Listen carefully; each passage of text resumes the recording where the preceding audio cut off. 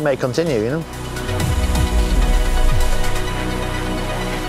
Everybody's injury is different and I can't speak for everybody's case but um, you know there's a, there's a lot of people I've tried to give some help to and some feedback and stuff when they've had external fixators on the leg and stuff and um, the, the main part of it is just be patient really and you know work with your surgeon on what they will allow you to do and I was lucky that my surgeon was a little bit crazy and he wanted me to try push as hard as I could and some things I was doing you know I was when I was doing squatted weights in the gym and I said, how heavy can I go? And he said, go as heavy as you want. The worst thing that'll happen is a pin will break and I'll have to put another one in, which sounded absolutely crazy to me because if a pin had broken, I'd have probably fell over.